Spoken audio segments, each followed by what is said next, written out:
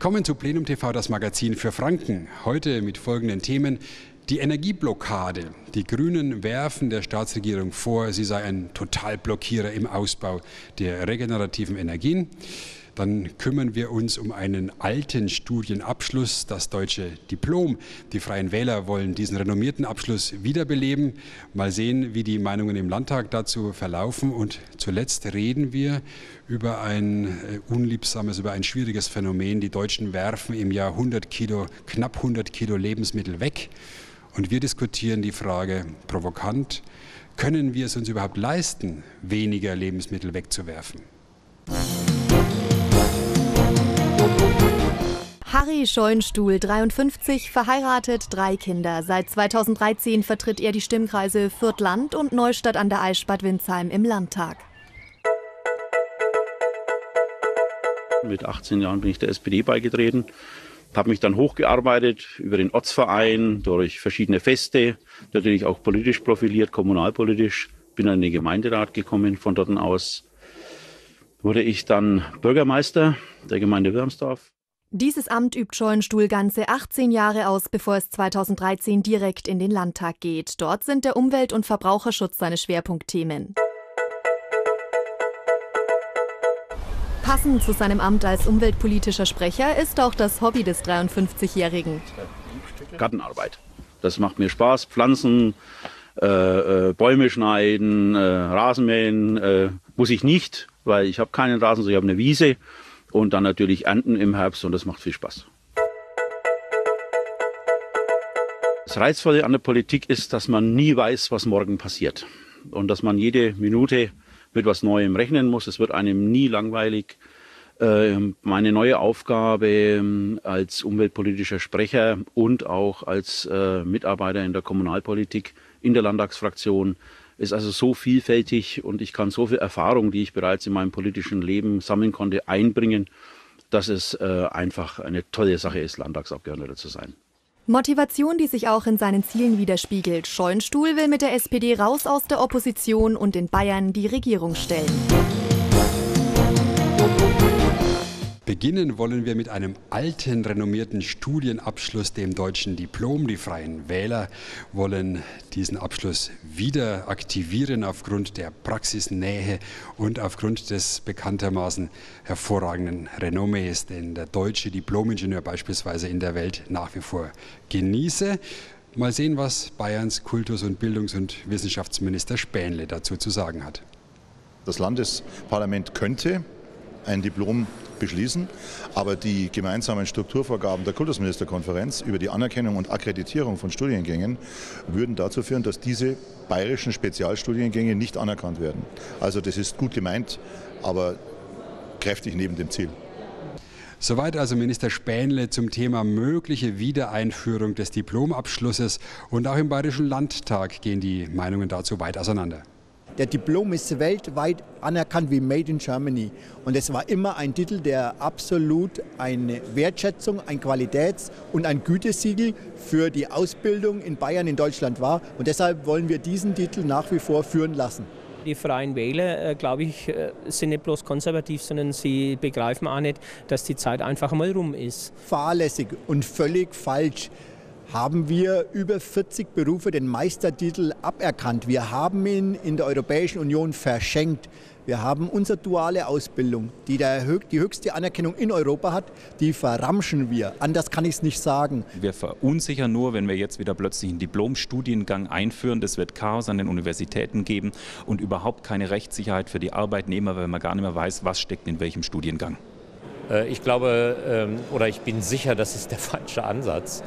Ähm, es ist unzweifelhaft, und das sehe ich auch so, äh, dass der Bologna-Prozess äh, nicht abgeschlossen äh, sein kann und dass an, an vielen Stellen auch Nachjustierbedarf besteht.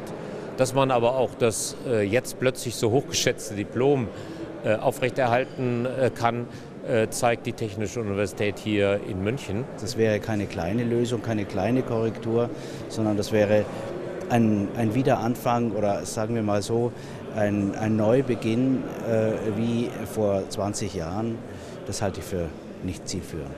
Die Staatsregierung und die CSU sind die Totalblockierer der Energiewende. Diesen Vorwurf machten unlängst die bayerischen Grünen im Landtag. Stimmt gar nicht, empörte sich die CSU. Wir haben in Bayern die meisten Photovoltaikdächer, wir haben die meisten Windkraftstandorte, zumindest viel mehr als in Württemberg. Wir entwickeln die Wasserkraft.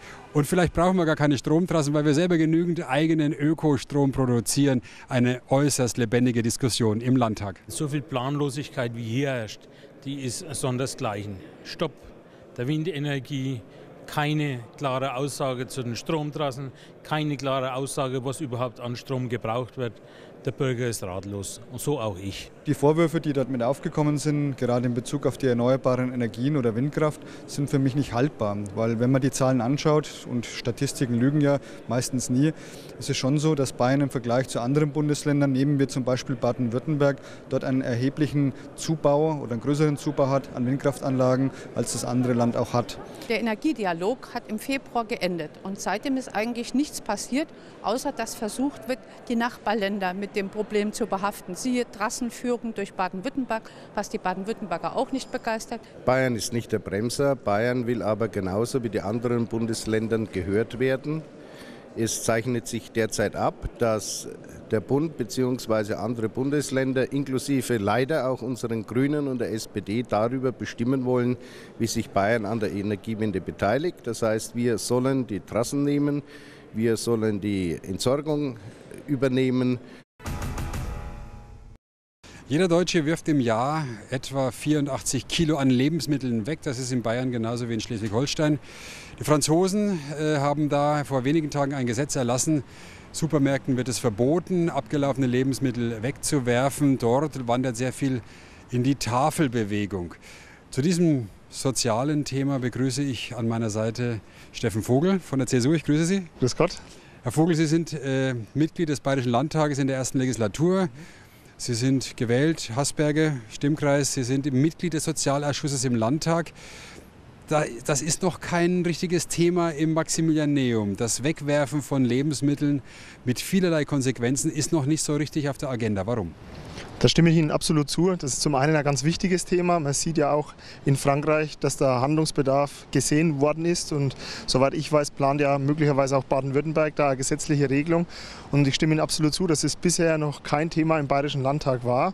Aber ich denke, das sollte man durchaus mal aufgreifen und auch mal beobachten, wie jetzt die Entwicklung in Frankreich ist und auch wie Baden-Württemberg sich verhält und möglicherweise dann selbst, dass wir auch als Freistaat Bayern ein Stück weit initiativ werden. Ein paar Zahlen für die Diskussion. Äh, hauptsächlich wirft der Privathaushalt weg. Über 50 Prozent der Lebensmittel kommen im Privathaushalt in die Mülltonne. Danach die sogenannten Großverbraucher, das sind also Gastronomiebetriebe, Kantinen. Der Supermarkt selber ist gar nicht mal das große Problem. Der hat weniger als 5 Prozent der Lebensmittel, die dort äh, auf die Seite kommen, sagen manche. Äh, wo sind denn da die Ursachen? Ich glaube, das ist eben wichtig, dass man sich einfach mal die Zahlen bewusst macht. Es wurde ermittelt, dass in Deutschland 11 Millionen Tonnen weggeworfen werden, die eigentlich nicht weggeworfen werden müssten. Und wenn man es auf Bayern runterbricht, sind es ca. 1,3 Millionen Tonnen. Und das ist natürlich ein riesen, ähm, ein riesen Berg, eine Riesensumme. Äh, und äh, wenn man es in LKWs umrechnen würde, wären es 73.000 LKWs an Lebensmitteln, die bei uns weggeworfen werden. Und ähm, deshalb beobachten wir das sehr genau, auch in Frankreich jetzt, weil, wie Sie richtig ansprechen, ist gar nicht unbedingt der Handel der Bereich, der die meisten Lebensmittel wegwirft, sondern wir Verbraucher. Wir Verbraucher ähm, schätzen oft mal die Lebensmittel nicht hoch genug und äh, vor allem in Privathaushalten wird da das Überwiegende weggeschmissen. Und deshalb ist es nach unserer Überzeugung auch wichtig, man beispielsweise Ernährungsbildung auch forciert. Das Staatsministerium für Ernährung, Landwirtschaft und Forsten hat ja auch zwei Initiativen. Restlos gut essen, das ist eine Wanderausstellung, die jetzt in den Landratsämtern, äh, in Sparkassen, in Museen äh, gezeigt wird, wo man einfach aufklärt und auch äh, zeigen möchte, dass Lebensmittel wertvoll sind. Und es gibt ja dann auch noch die Initiative ähm, Wertvoll Essen. Und auch da gibt es praktisch dann Veranstaltungen, Ernährungsbildungsveranstaltungen über die Ämter für Ernährung, Landwirtschaft und äh, Fasten. Da gab es, glaube ich, schon 200 Veranstaltungen. Aber auf ganz Bayern ist das natürlich ähm, zu wenig. Äh, man kann den überschüssigen Lebensmittelberg quasi äh, retten vor der Mülltonne. Und äh, in Bayern gibt es, wie auch überall in Deutschland, die Tafelbewegung. Ist das ein sinnvolles Ventil? Kann man da das verstärken? Da stimme ich Ihnen auch zu. Die Tafeln sind eine ganz wichtige Einrichtung. Eben aus zwei Gründen. Einmal die Wertschätzung von Lebensmitteln, dass man Lebensmittel aus dem Supermarkt nicht wegwirft, sondern dass man die dann an, an Menschen weitergibt sinnvoll, dass die genutzt werden. Das andere ist eben, dass durch die Tafeln ja auch sozial Schwache dann auch Lebensmittel günstig erhalten können und damit praktisch in ihrer Lage ähm, ein Stück weit Unterstützung bekommen. Das Beispiel Frankreich zeigt aber auch, dass es große Vorbehalte gibt. Einmal vom Handel, der sagt, wir sind ja nur ein kleiner Teil derjenigen, die Lebensmittel in Anführungszeichen nicht äh, äh, einsetzen, sondern wo Lebensmittel weggeworfen werden, sondern äh, Privathaushalte eben das meiste. Und das Zweite ist, als die, die Tafeln in Frankreich, die haben ein ähnliches System, die wehren sich ein Stück weit dagegen, weil sie sagen, einmal, wir kriegen diese Massen überhaupt nicht weg. Wenn jetzt wirklich verpflichtend alle Lebensmittel bei uns ankommen, dann haben wir einfach ein logistisches Problem, dass wir diesen Bedarf überhaupt noch nicht äh, so haben. Das heißt, äh, die Tafeln sehen es durchaus auch kritisch, weil sie nicht wissen, wie sie damit umgehen sollen. Als auch der Handel sagt, wir sind möglicherweise auch der, nicht die Hauptursache, sondern eine Nebenursache. Und ähm, was man vielleicht auch noch ansprechen äh, sollte, wenn wir so eine Verpflichtung einführen würden, dann bräuchten wir dann auch haftungsrechtliche Regelungen für die Betriebe, die ja das dann weitergeben, die Lebensmittel, müssen die trotzdem einen Qualitätsstandard haben. Und auch steuerrechtlich ist es ja nicht so ganz einfach. Warum? Das Unternehmen kauft es ja ein, das ist ja Betriebsausgabe, und dann, wenn es es weitergibt, äh, ist es dann eine Spende, ist es dann, wie ist es steuerrechtlich zu behandeln? Also das ist einfach ein größeres Feld, was man damit ähm, bearbeiten. Da kommt der Jurist jetzt ein bisschen zum Vorschein. Ähm, Herr Vogel, kann es denn sein, dass es auch ganz vehement für so ein Agrarland wie Bayern eben auch noch eines natürlich ist, äh, dass es auch ökonomische Auswirkungen hat? Was würde denn passieren, wenn wir weniger Lebensmittel kaufen würden, also auch den Bauern quasi weniger abnehmen? Dann würden die Erzeugerpreise ja noch mehr in den Keller gehen. Äh, können wir uns das überhaupt leisten, die Lebensmittel nicht wegzuwerfen? Ich denke, wir brauchen mehr Wertschätzung auch für regionale Produkte. Und das ist vollkommen klar, wenn wir heute 10, 15 Prozent weniger Lebensmittel kaufen, weil wir einfach die Lebensmittel sinnvoll verwerten und weiter einsetzen, dann ist der, geht der Absatz um 10, 15 Prozent zurück. Und damit sind natürlich unsere landwirtschaftlichen Betriebe, unsere bäuerliche Struktur auch betroffen. Man spricht aber von der Überproduktion. Wir hätten ja auch in Bayern wie in Deutschland, wie in Europa eine riesige Überproduktion. Ich denke, wir bräuchten mehr Qualität und weniger Quantität. Das heißt, das ist die Frage der, der nachhaltigen Nahrungsmittelerzeugung, der regionalen Nahrungsmittelerzeugung, dass praktisch der Landwirt weniger produziert, aber qualitativ hochwertiger und dann auch einen besseren Preis bekommt. Schauen Sie, ich glaube, es ist kein Land in der Europäischen Union, wo weniger Geld für Nahrungsmittel ausgegeben wird wie bei uns. Das heißt, wir sind mit Schlusslicht in Europa bei den Ausgaben für Nahrungsmittel. Wir geben für Kosmetika oder für Kleidung wird viel mehr ausgegeben wie für das, was wir brauchen, was unser Körper braucht für gute Ernährung. Und auch da braucht es eine gewisse Wertschätzung. Sehen Sie da einen, äh, einen äh, integrierten Ansatz zum, zur Lösung? Es kann ja nicht sein, dass wir unsere Überproduktion auch noch in Entwicklungsländer geben und dort noch die Agrarmärkte kaputt machen. Also für mich ist es aus ökologischen Gründen auch nicht sinnvoll, Äpfel aus Neuseeland äh, nach Deutschland äh, zu schicken, um die dann äh, dort äh, zu verkaufen. Ich finde, wir müssten auch mal die Biologie im Einkaufsmarkt wieder steiger berücksichtigen. Brauche ich wirklich jede Obstsorte und jede Frucht zu jeder Jahreszeit? Oder gibt es dann einfach Wintermonate, wo es dann gewisse Früchte nicht gibt und dann braucht man die auch nicht importieren, sondern erstmal eben äh, bewusst auch regionale Produkte ähm, ähm, Wert drauf legt. Sie sehen ja, das ist eine Querschnittsaufgabe. Da sind alle Bereiche beteiligt, beispielsweise das Kultusministerium. Ernährungsbildung kann ja schon und Erziehung kann ja schon in der Schule stattfinden. Das heißt, jeder Grundschüler soll mindestens einmal auf dem Bauernhof gewesen sein, damit er eben nicht äh, denkt, dass die Kuh normalerweise lila ist, sondern dass die braun oder blau-weiß äh, wäre. Und auch die in den fünften bis siebten Klassen sollen dann praktisch in den Mittelschulen jeder Schüler auch einmal einen ernährungsverarbeitenden Betrieb einen Tag kennenlernen, um da einfach auch ein Bewusstsein zu schaffen. Und insoweit ist es eine Aufgabe für den Landwirtschaftsausschuss, es ist eine Aufgabe für den Fürs, für den Bildungsausschuss, es ist eine Aufgabe für den Sozialausschuss. Ich glaube, das ist ein Querschnittsthema, dem wir uns im Bayerischen Landtag durchaus widmen sollten. Also man hört die Signale. Ich bedanke mich für die Erörterung dieses sehr, sehr schwierigen und wichtigen Themas. Danke fürs Mitmachen. Und das war schon unser Plenum TV Magazin, diesmal für Franken.